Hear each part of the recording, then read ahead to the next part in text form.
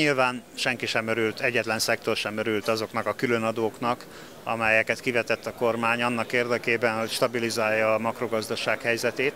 Viszont úgy gondolom ezen már túl vagyunk, vagy hát még nem, de a kivetésen túl vagyunk és talán látszanak a kedvező eredmények is. A költségvetés egyensúlyi helyzete lényegesen javult, miközben azért strukturális átalakítások is elindultak a költségvetésben. Tehát bízunk benne, hogy a gazdaság egy növekedési pályára állt, 2-3 os növekedést már most lehet látni, tehát ennél nagyobbra lenne szükség. Ez még elsősorban a bizalom további építésé eh, lenne szükséges.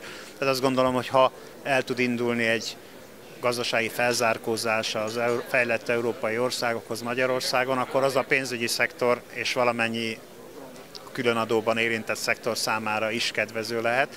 Tehát végül is ezzel a nadrágszín meghúzással azt gondolom hozzájárultunk a gazdasági növekedés beindításához, és bízunk benne, hogy a növekedésen keresztül azért eh, hosszú távon mi is jól fogunk elni.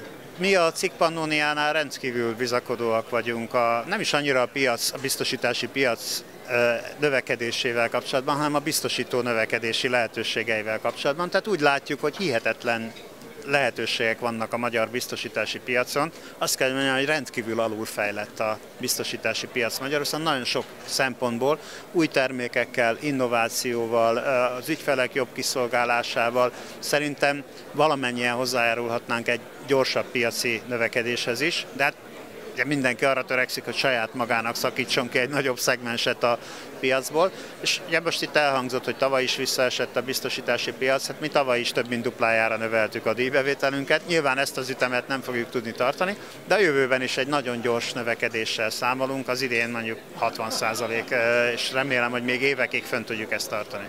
Én azt gondolom, hogy már eleve a különadó kivetésekor vagy megtárgyalásakor a szektornak is, a kormánynak is jobb lett volna arra törekedni, hogy jó, kell a költségvetési bevétel rövid távon, de hogy lehet egy olyan szerkezetet kialakítani, ami hosszú távon hozzájárul a gazdaság növekedéséhez és a pénzügyi piacok növekedéséhez. Sajnos ez már elmaradt, de hát próbáljuk meg most. Én azt gondolom, hogy még a Szélkálmán terv részletei közé be lehetne csempészni egy a pénzügyi szektor stabilitását és növekedését szolgáló intézkedéscsomagot. Lehet, hogy adókedvezményekre, akár 10 éves lejáratú, tehát a hosszú távú megtakarításokkal kapcsolatos adókedvezményekről lehetne szó, vagy más olyan pénzügyi felügyeleti vagy szervezeti változtatásokról, amelyek a egész pénzügyi piacnak jót tehetnek. Tehát azt gondolom, hogy a kormányjal együtt kellene működni ennek érdekében, de jó lenne a szektoron belüli együttműködés is, amiben sajnos úgy látom, hogy nagyon gyengék vagyunk Magyarországon.